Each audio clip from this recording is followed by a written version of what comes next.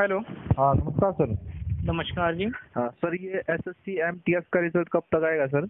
ये आ जाएगा नवंबर दिसंबर तक नवंबर दिसंबर तक आएगा सर? हाँ जी। सर इतना लेट क्यों सर? ये तो कह रहे थे कि रिज़ल्ट आ जाएगा ये जुलाई तक।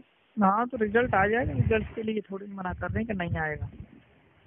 सर ये तो काफ़ी लेट हो गया सर। एक साल का समय ले लिया ना तो। हाँ हो जाता है। चार महीने तो कोरोना ने ही लगा दिया ना।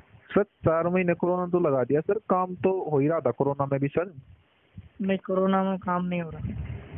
तो सर सैलरी तो मिलती होगी ना? सैलरी कट पिट के मिलती है। सैलरी वही तो बात है ना सर। हम हमारे जैसे तो वेट कर रहे हैं अरे इनको अच्छी अपने सैलरी मिल रही है। तो। काम करने का नाम ले रहा आपकी कोई गलती नहीं सर मैं आपके लिए नहीं कह रहा हूँ मैं उनके लिए कह रहा हूँ जो काम ही नहीं करने का नाम ले रहे हैं कोई- सैलरी रोक दे ना पता लग जाएगा इनको एक महीने की सैलरी रोक दे कैसे वेट किया जाता है बच्चों को साथ में? टाइम लगेगा थोड़ा सा ये सीजीएल का तो आ जाएगा ना सर टायर थ्री का?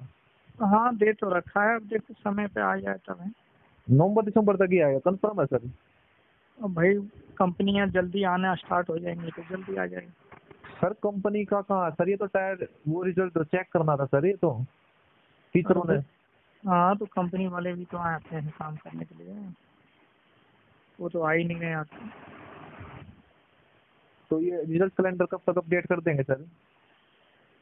अब देखो करना तो इनको जल्दी चाहिए पर थोड़ा सा इसी वजह से समय हो रहा है क्योंकि वर्कर पूरा आ नहीं रहा है। कौन सर एक बात बोलूँगा सर हमारी गवर्नमेंट कभी तरक्की नहीं कर सकती इन जैसे भ्रष्ट कर्मचारी वजह से। जो काम करने का नाम लेते सैलरी ले रहे हैं अपना सैलरी ले रहे हैं सैलरी ले रहे हैं। अरे अभी कर्मचारियों को पूरा आदेश ही नहीं हुआ है ना डीओपीडी ने किया नहीं ना पूरा आने के लिए? नहीं सर वो तो बात ठीक है। लॉकडाउन लगा था पच्चीस मार्च को लगा था। नहीं जब तो लगा। 25 उसके उसके बाद एक तारीख से खुल गया लेकिन कर्मचारी किसी भी मिनिस्ट्री में पूरा नहीं आ रहा है। वो बात ठीक है सर। 25 मार्च को लॉकडाउन लगा था और हमारा पेपर 24 नवंबर को आया था। तो। सर हमारा 30 अप्रैल को रिज़ल्ट देना था इन्होंने सिर्फ़ एक महीने के लिए इन्होंने ऑलरेडी कितने महीने ले चुके एक महीने में ऐसा क्या काम रह गया जो इनका अब तक पूरा ही नहीं हो गया सर? और इतने महीने क्या करा इन्होंने इससे लॉकडाउन से पहले सर? हाँ वही है ना लॉकडाउन लग गया फिर लॉकडाउन से पहले पता नहीं कहाँ बिज़ी रहे। 2017 की भर्तियाँ अब हो रही है इतने साल लेट चल रहे हैं कोई भर्तियाँ हो नहीं रही गवर्नमेंट कह रही है हमने रोज़गार दे रहे हैं रोज़गार दे रोज़गार तो सर ये भ्रष्ट लोग खत्म कर रहे हैं। गवर्नमेंट का भी ऐसा ही है।